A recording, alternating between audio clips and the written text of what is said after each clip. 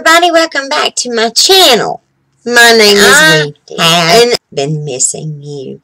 Just know when I'm absent from YouTube that I miss YouTube and everything about it. But the thing that I miss the most is my subscribers talking with you, chit-chatting. I, I love it. I love it, and I'm going to get back so. I have uh, been uh, doing a major overhaul to my home. I uh, completely shut down my YouTube room, my office. I packed it up completely. Uh, some of it's in the living room to go to the shed.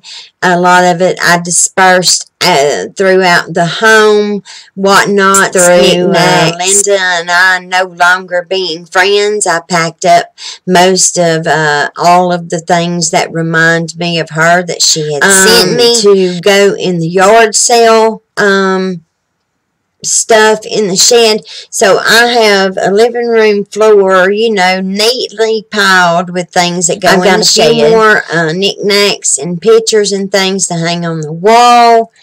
I completely moved my jewelry boxes from off of my vanity onto the and dresser. I have created a little cubby hole in my bedroom where I can get away uh, for a moment of peace and quiet to either color in one of my coloring books, get on my computer, fiddle with my phone.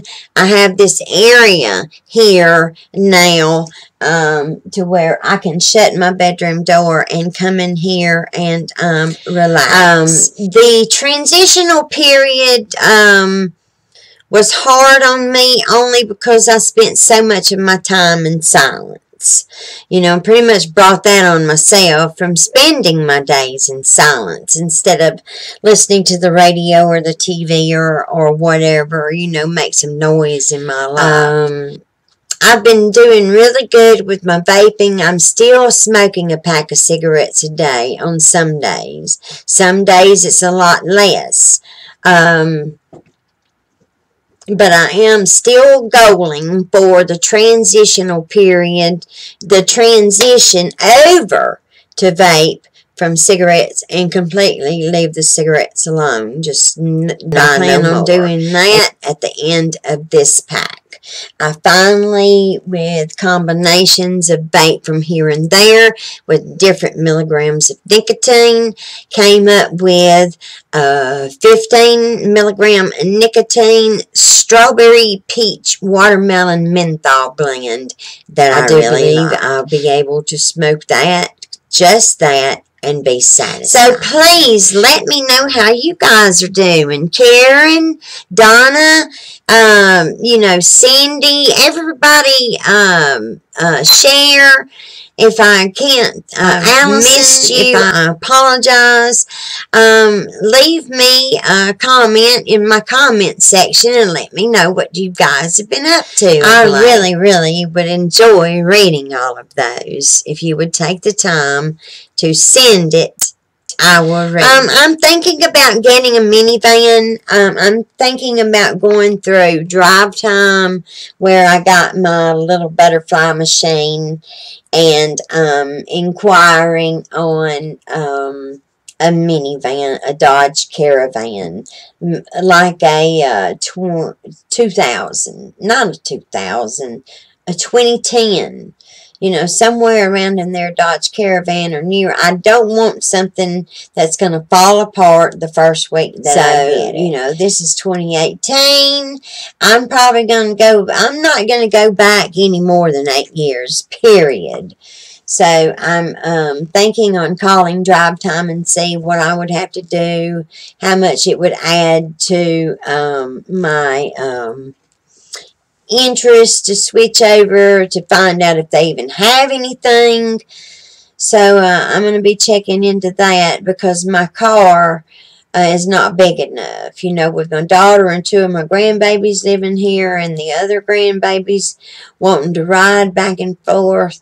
Um, I need a Dodge Caravan. It's just that plain and, plain and simple. Um, I really, really do. And um, let's see, what else do I want to chit chat um, about? Let me think. Yes, I'm going to have to have little feller put to sleep. I cannot figure out what it is in his environment that he's allergic to. He, I took everything away, even the tuna, and he almost got well. He was a smidge away from getting well, and poof, it just all came back with a vengeance, even worse than it was. And that had happened before. You know, that baby's been on baby food, chicken pureed baby food.